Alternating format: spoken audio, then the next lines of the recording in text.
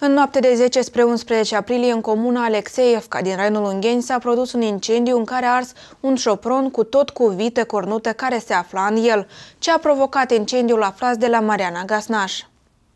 În seara zilei de 10 aprilie, gospodarul casei a dat foc la niște deșeuri, însă nu a stins focul înainte de a merge la culcare, lăsând jăraticul să se potolească de la sine. În cursul nopții, focul a fost întețit de vânt, astfel s-au aprins resturile vegetale de la care a luat foc adăpostul de vite care era în preajmă. O cauză posibilă aici, neatenție cu focul, s-a făcut rug în apropierea șopronului și cred că un jăratic a nimerit la șopron care a fost construit din scânuri și din foi de ardeziu, unde a fost și fân, la care s-a prins așa aproximativ la orele două. Potrivit reprezentanților Direcției Situațiilor Excepționale Ungheni, în incendiu a ars o vită cornută care era adăposită în acel șopron, iar pagubele materiale înregistrate se estimează aproximativ la 5.000 lei. Cum am stabilit dacă aici am avut și o,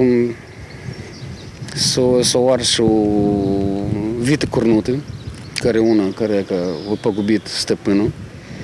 Și dacă socotim așa, cum costă o, de un an de zile o vită cornută și șopron, costă vreo 5.000 de lei.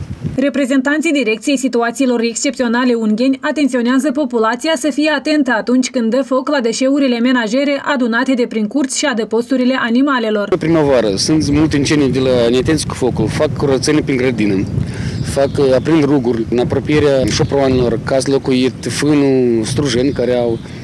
Și noi avertizăm populația să nu aprindă ruguri, în primul rând.